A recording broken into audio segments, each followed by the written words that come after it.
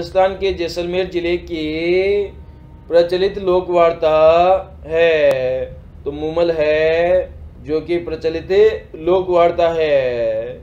Next हमारा, आईने अकबरी का लेखक कौन है?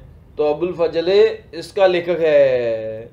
नेक्स्ट हमारा, राजस्थान के किस ज़िले की अंतर्राज्य सीमा सर्वाधिक है? तो झालावाड़ ज़िले की अंतर्राज्यीय सीमा सर्वाधिक है। नेक्स्ट हमारा, राजस्थान के किस क्षेत्र का दैनिक तापांतरण सर्वाधिक रहता है? तो पश्चिमी क्षेत्र का दैनिक तापांतरण सर्वाधिक रहता है। नेक्स्ट हमारा, राज्य में न्यूनतम वन क्षेत्र वाला जिला है। तो चूरू जिला है, न्यूनतम वन क्षेत्र वाला जिला। नेक्स्ट हमारा, राजस्थान का अन्न भंडार कहलाता है। तो गंगानगर ज़िले को कहते हैं, राजस्थान का अन्न भंडार। नेक्स्ट हमारा, किस खनिज के उत्पादन में राजस्थान का एकाधिकार है? तो जस्ता जास्पर और वॉल स्टोनाइट इन तीनों खनिजों में एकाधिकार है राजस्थान का। नेक्स्ट हमारा महाराणा कुंभा ने विजय स्तंभ का निर्माण किस शासक पर विजय प्राप्ति के उपलक्ष्य में किया था? तो महमूद खिलजी पर विजय के उपलक्ष्य में बनवाया था विजय स्तंभ महाराणा कुंभा ने। नेक्स्ट हमारा राजस्थान का वह प्रथम राज्य है, जिसने मुगलों के साथ संयोग और समर्पण की नीति अपनाई थी। तो आमिर जयपुर ने अपनाई थी। नेक्स्ट हमारा, बाल रोगों के निदान हेतु किस देवी की मान्यता है? तो बीजासनी देवी की मान्यता है। नेक्स्ट हमारा, कौन सा चित्रकार बीलों के चितेरे के रूप में जाना जाता है। तो गोवर्धन बाबा को जाना जाता है बीलों के चितेरे के नाम से। नेक्स्ट हमारा अलवर क्षेत्र की मेव महिलाओं द्वारा किया जाने वाला नृत्य है। तो रतवई नृत्य किया जाता है मेव महिलाओं के द्वारा।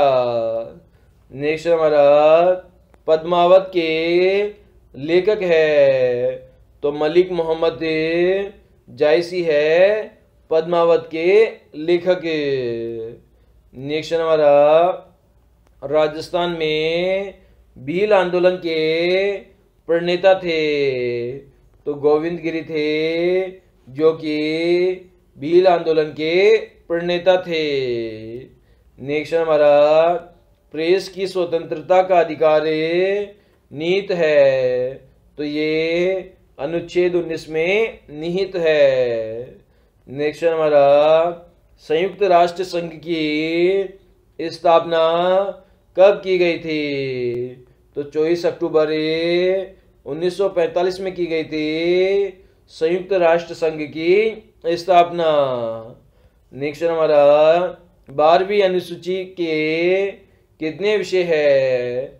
तो कुल मिलाकर ये अठारह विषय है। नेक्स्ट हमारा, राजस्थान स्थापना दिवस मनाया जाता है।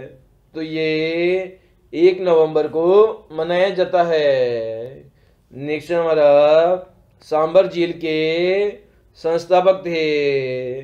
तो राजा वासुदेव थे, जो कि सांबर झील के संस्थापक थे।